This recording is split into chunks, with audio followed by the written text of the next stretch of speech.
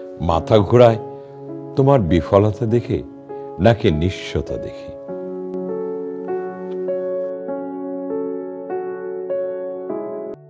আপনারা আমার কোটেশনটা আমি পড়েছি, আপনারা শুনলেন এবং দেখছেন।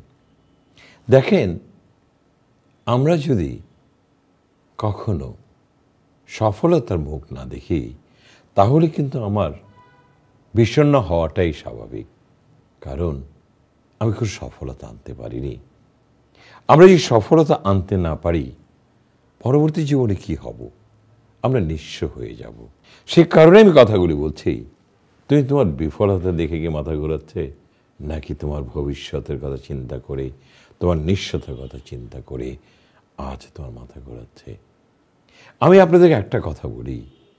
জীবনে জন্মেছেন, বেঁচে আছেন, মরে যাবেন। বাচ্চাটা যেন অবশ্যই সুপ্রসন্ন হয়। আপনি চিন্তা করবেন, যখন আমি বেঁচে আছি, আমি যেন ভালোভাবে বেঁচে থাকতে পারি। নিশ্চয়তা যেন আমাকে কখনোই যেন স্পর্শ করতে না পারে। আমরা অনেকেই সময় কিন্তু দেখেন, কেউ হয়ে যায় দীনতায় ভোগে আর কেউ ঐশ্বর্যে ভোগে। এবং ঐশ্বর্য বলেন আর দীনতা বলেন, দুটাই কিন্তু অর্জন করতে হয়। কোনোটাই কিন্তু নিজে নিজে ধরা দেয় না। ধরা দেয় আমার কর্মফলের উপর। আমি কর্ম যদি ভালো করতে পারি, আমার কাছে দীনতা আসবে না, আসবে ঐশ্বর্য। আর যদি কর্মেতে ফাঁকি দেই, তাহলে দীনতা আমার কাছে আসবে, ঐশ্বর্য আসবে না।